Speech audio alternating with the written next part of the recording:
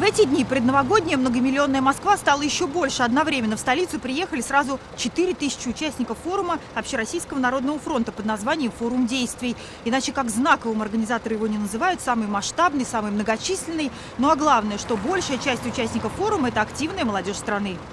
Первое, что встречает участников форума – доска добрых дел. На ней каждый мог оставить свое пожелание и выразить свою любовь. А любовь к своему краю участники Общероссийского народного фронта уже выразили запуском проекта «Генеральная уборка», когда каждый мог указать на интерактивной карте место, где появилась свалка, и вместе с активистами ее прибрать. Координатор проекта «Генуборка» в Татарстане.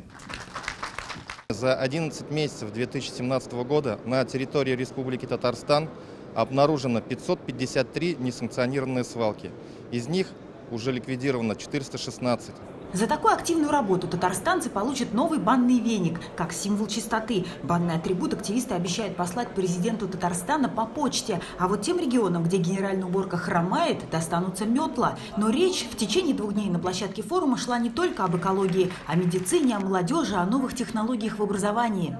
Мы говорили об учебниках, которые не должны каждый год меняться для наших детей. Один из острых вопросов обманутые дольщики, активисты, в том числе татарстанские, а их на форуме было 12 человек, предлагают усилить общественный контроль за этой темой.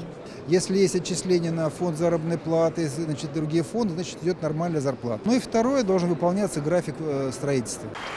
Каждый из вопросов, затронутых на форуме действий России, устремленная в будущее, касается рядовых граждан. Активисты сегодня поделились результатами труда с Владимиром Путиным. Президент пожелал общественникам и дальше быть такими же принципиальными и активными.